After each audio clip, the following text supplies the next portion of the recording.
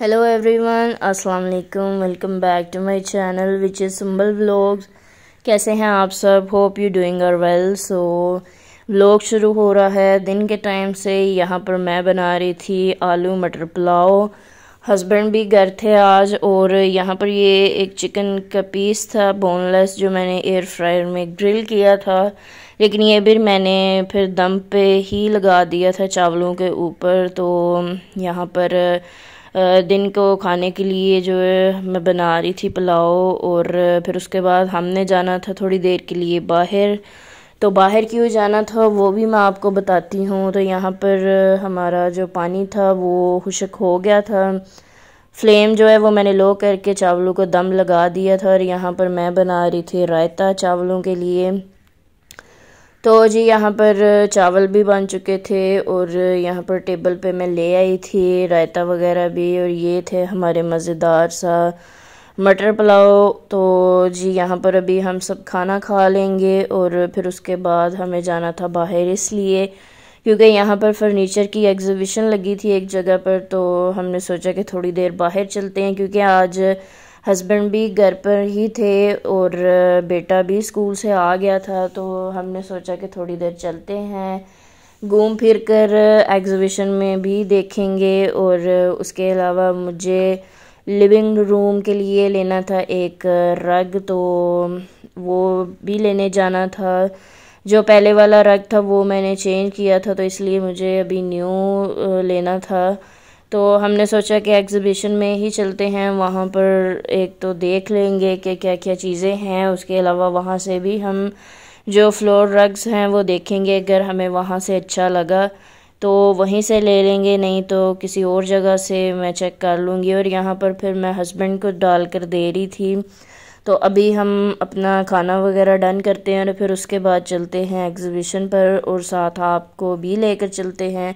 तो व्लॉग पूरा देखने के लिए मेरे साथ बने रहिए और यहाँ पर जी एग्ज़िबिशन पर हम आ चुके थे तो यहाँ पर हमने अपनी गाड़ी पार्क की और अभी हम चलते हैं अंदर और फिर जाकर देखते हैं कि क्या क्या चीज़ें थी यहाँ पर और यहाँ पर जितना हो सका उतना मैंने इजीली जो जितना मैं कर सकती थी मैंने शूट किया क्योंकि हर बंदे की अपनी प्राइवेसी होती है।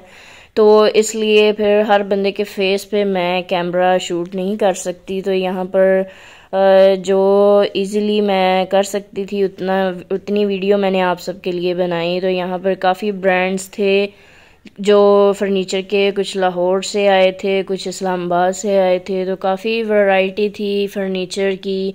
उसके अलावा यहाँ पर वॉल आर्ट्स की भी काफ़ी वैरायटी थी होम डेकोर की चीज़ें थी। वुडन क्राफ्ट में भी काफ़ी चीज़ें थी यहाँ पर।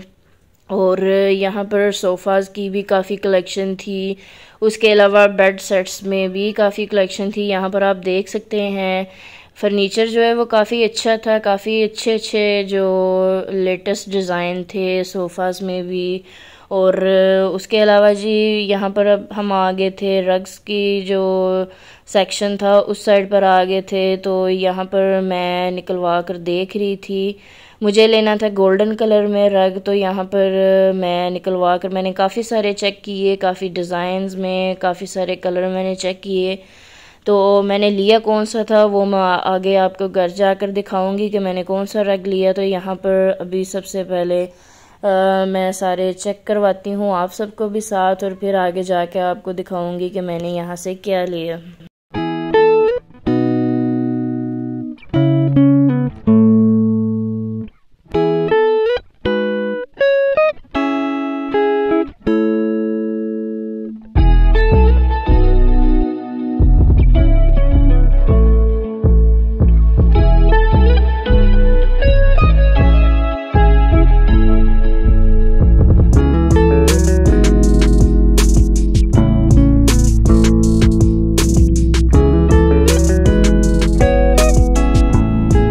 यहाँ पर गरहज जो है वो हम आ चुके थे और ये रग था जो कि मैं, मुझे पसंद आया और फिर मैंने ले लिया। क्वालिटी वाइज भी ये काफ़ी अच्छा था। तो और जो कलर भी मुझे चाहिए था एग्जैक्टली exactly वही कलर मुझे मिल गया था। तो यहाँ पर इसे मैंने प्लेस किया था। अभी आप लोग देख कर बताना कि ये यहाँ पर कैसा लग रहा है। जो पहले वाला था वो थोड़ा सा फ्लोरल प्रिंट में था तो इसलिए मैंने फिर इसे थोड़ा सा चेंज किया। उसके अलावा यहाँ पर ये कुछ कुर्तास थे जो कि मेरे बेटे के स्टिच होकर आए थे तो यहाँ पर ये मैं निकाल कर देख रही थी। ज़्यादातर वो शॉर्ट्स वगैरह ही पहनता है और इस दफ़ा उसने खुद ही कुर्तास जो है वो स्टिच करवाए थे। तो यहाँ पर वो आए थे और जी, उसके अलावा मैंने डाइनिंग टेबल पर फ्लावर्स भी चेंज किए थे तो वो भी मैं आपको दिखाती हूँ। तो यहाँ पर भी पहले जो है वो दूसरे वाले फ्लावर्स थे जो कि मैंने चेंज कर दिए अभी। और उसके बाद जी यहाँ पर मैं बना रही थी शाम का खाना तो यहाँ पर हंडिया जो है वो मेरी बन चुकी थी। मैंने बनाई थी आलू और शिमला मिर्च की सब्ज़ी तो यहाँ पर मैं बना रही थी खीर। और खीर जो है ये हम मैंने जो है वो क्विकली सी रेसिपी जो है वो फटाफट से बनाई थी। क्योंकि चावल जो हैं वो मैंने दिन को भिगो कर नहीं रखे थे। तो शाम में ही मैंने भिगोए थे तो इसलिए फिर मैंने राइस जो है उन्हें थोड़ा सा ग्राइंड कर लिया था। और यहाँ पर जी ये बूंदी चाट थी जो कि हमने शाम में खाने के लिए बनाई थी। तो यहाँ पर ये बच गई थी तो इसे मैं बॉक्स में डाल कर रख दूँगी फ्रिज में और फिर जो है, यहाँ पर मैं बना लूँगी अपनी खीर। तो चावल जो है, वो मैंने थोड़े से ग्राइंड कर लिए थे ताकि जल्दी से जो है, वो खीर बन जाए। क्योंकि टाइम भी शाम का था तो यहाँ पर अभी मैं बना लेती हूँ खीर और फिर उसके बाद इसकी फ़ाइनल लुक जो है, वो मैं आपको दिखाऊँगी।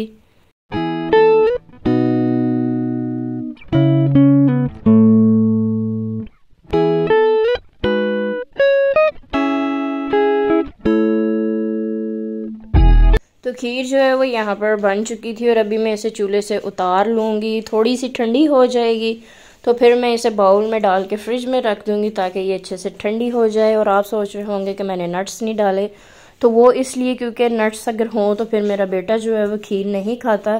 तो इसलिए मैं बाउल में ऊपर से थोड़े से नट्स डाल दूँगी हस्बैंड के लिए और बाकी जो नीचे की खीर होगी वो बग़ैर नट्स के होगी। तो यहाँ पर जो खीर है, वो मैंने बाउल में डाल दी और अभी इसे मैं रख दूँगी फ्रिज में। मिलूँगी आपसे अगले व्लॉग में। Do like, share and comment. अपना बहुत सारा ख्याल रखिएगा। अल्लाह हाफिज़। जी बाय बाय